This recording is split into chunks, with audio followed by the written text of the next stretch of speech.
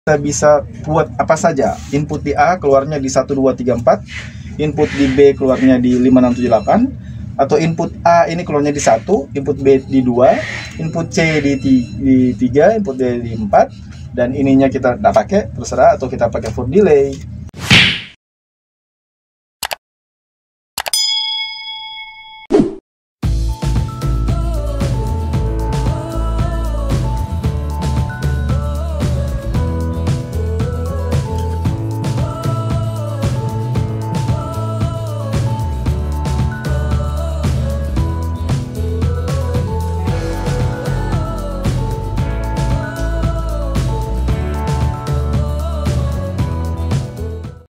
Selamat pagi, siang, sore, malam. Serah di sana Unibo Uni ini jam berapa? Kita TNI seperti yang sudah diketahui belum ganti nama. Sekarang ini ada di Portino Audio. Di muka pak kita sekarang, di muka saya sekarang ada satu produk dari Hooper LMS DSP 4800A. 4800 itu berarti inputnya 4, outputnya 8. Kita orang buka Jo, langsung unboxing saja langsung ya.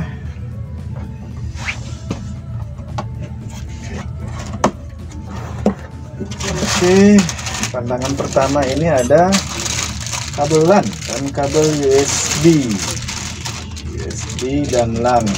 Nanti berikut kita lihat apa fungsinya. Oke ada CD pastinya ini bukan CD video tapi CD driver. Oke dan SIP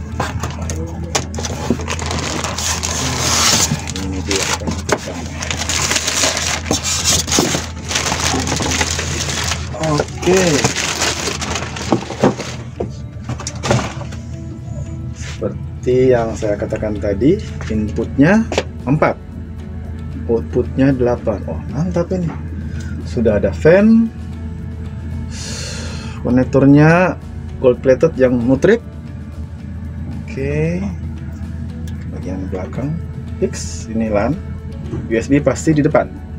Nah, ini ada yang bilang USB eh, port untuk printer. Memang sampai sekarang sih printer banyak pakainya seperti ini.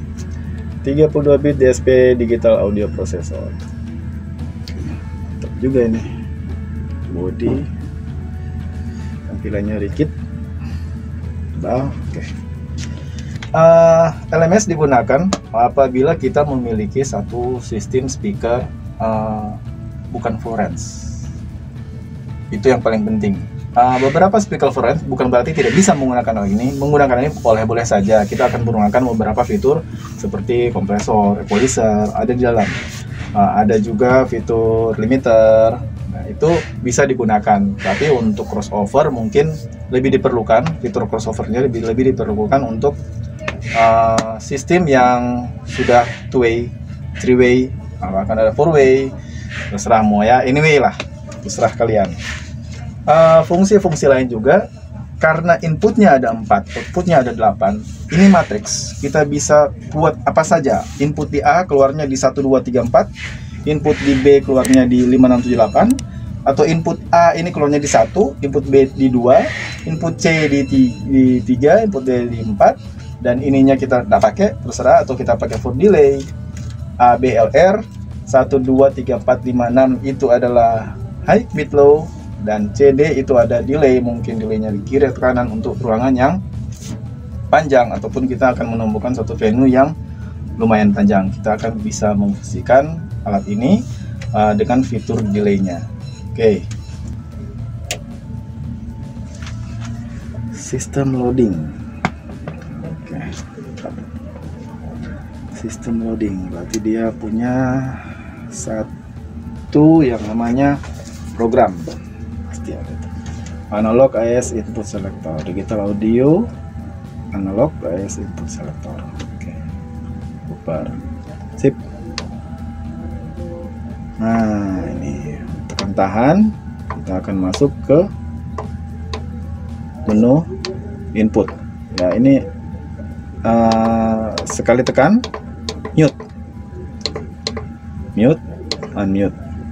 Oke. Okay saat kita tekan tahan itu akan masuk ke displaynya. Itu juga dengan bagian output. Output 1 output 8 input. Oke sip. Semua parameternya sudah ada. Kita coba lihat dulu di satu parameternya. Oh name. Oke.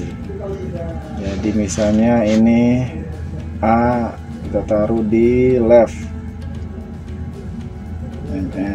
L. Enternya mana? Enter. Oke okay. B. Kita bikin dia jadi R. Hmm.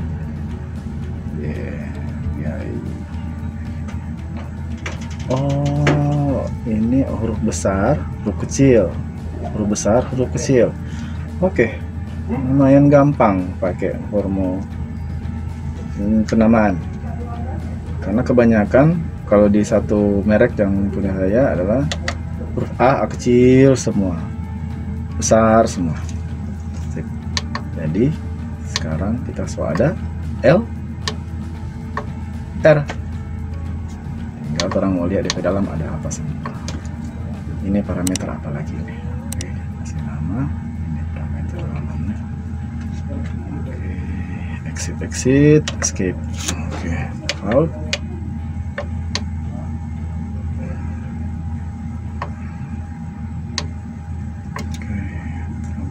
oh ini untuk selain default program-program yang orang mau simpan di dalam.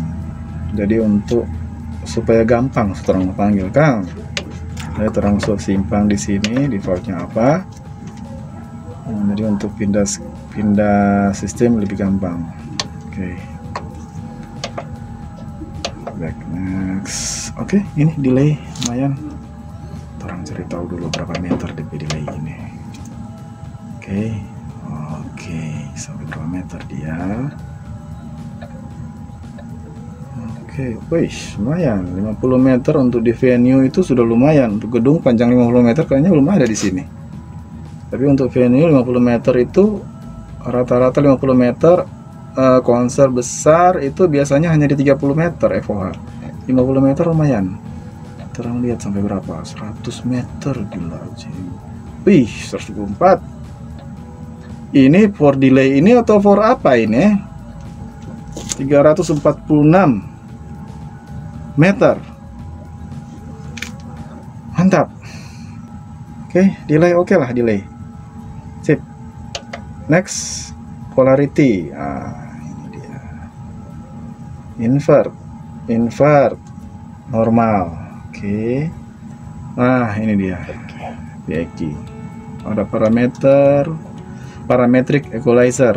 Jadi orang beli pilih frekuensi mana yang orang mau kasih naik. Ini kan ke up down mana sih? Oh sini. Langsung ini kan. Oh. bandwidthnya bisa di setel frekuensi jadi orang bisa pilih frekuensi frekuensi mana yang orang mau uh, adjust orang mau kasih naik atau kasih turun. Ada bandwidthnya juga. Berapa oktav yang akan orang mau kasih naik kasih turun? Ini jadi kalau frekuensi 200 Hz ini lebih banyaknya tetangga frekuensi itu yang mau ikut mau naik atau turun orang setel di sini seberapa lebar. apakah seberapa, seberapa lebar? Kalau ini lebih banyak tentu waktu orang kasih naik search DP tetangga di sebelah sebelah itu juga akan mau bapak ikon naik. Oke. Okay. Becky ada 8 8 lumayan. Mantap ini ada 8 iya banyak yang boleh mau koreksi ini dia toh. Nice gate. Ah ini mantap. Nice gate. Ada signal yang di bawah sekian di bawah sekian dB unit. DBU itu DB unit. Yeah misalnya his dari sistem ataupun kalau orang misalnya di satu tanpa lokasi yang DP listrik nggak terlalu bagus dan ada rattler di situ yeah. bisa fungsikan ini untuk menghilangkan kalau memang sudah terlalu uh, mengusik ruangan. HPF oke. Okay. crossover. Crossover sama. Ada LR apa apa semua di sini. Coba lihat di filter. Besok? Betul. Wah lengkap. Tiga tiga ada ya slot. Oktav apa ini? Enter. Oh ini. Oh iya. 12 sampai 48 jadi oke okay lah. Untuk harga segini ini bisa jadi pilihan. Untuk harga 6 jutaan untuk input 4 output 8 bisa jadi pilihan untuk sistem kita. Jadi kita rasa ini worth it lah fiturnya banyak di dalam. Tampilannya ini sangar ya ini DT apa LED pakai kaca agak-agak vintage kan? Ya tampilannya elegan lah. Elegan bentuk. Tebal oh pantas. Ada fan ternyata. Pantas nggak tahu panas ada fan. Yang menarik ini nutrik. Nah, biasanya untuk kelas-kelas ini menggunakan nutrik dengan gold plated ya. untuk output. Ya gold plated juga bagian dalam. Mantap lah. Oke okay lah worth it dengan harga 6 jutaan. Untuk 4 input dan 8 output untuk ruangan sangat saya rekomendasikan untuk ruangan yang ada yang memiliki delay penempatan speaker yang uh, batrap-trap kurang lebih bilang. Oke okay, uh, sekian dulu.